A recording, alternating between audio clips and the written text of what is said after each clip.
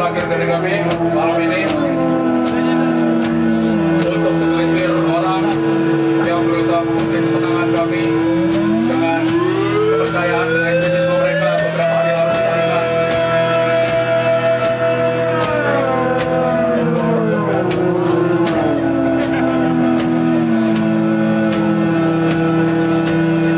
terhadap persangkaan tempat mereka di